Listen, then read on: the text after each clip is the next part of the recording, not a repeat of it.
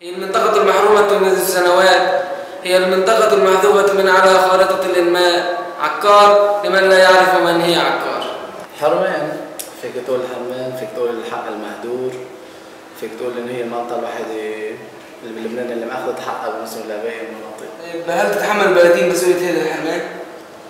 أكيد البلدية لها جزء كبير من المسؤولية. ما بس البلدية حتى الشعب كمان له كمان له مسؤولية إنه ما يطالب بحقوقه كمان في الدولة اللي هي بتأدي البارت الأكبر من المسؤولية طيب شو بتطلب من البلدية الجديدة بهي السنة؟ البلدية الجديدة؟ أن تتعلم من أخطاء البلدية السابقة وتكون قريبة أكثر من شعبها كمان تحاول تطلب من الدولة القيام بمشاريع إنمائية أكثر من من البلدية قبل.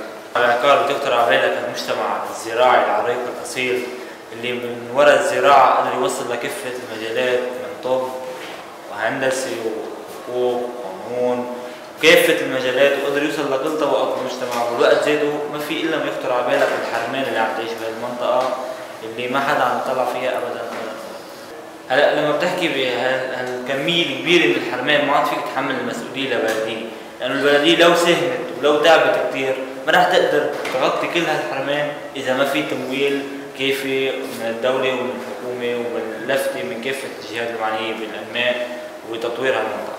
عكار بنهيدي عكار أول مرة بسمع فيها ما بعرف عنها شيء سوري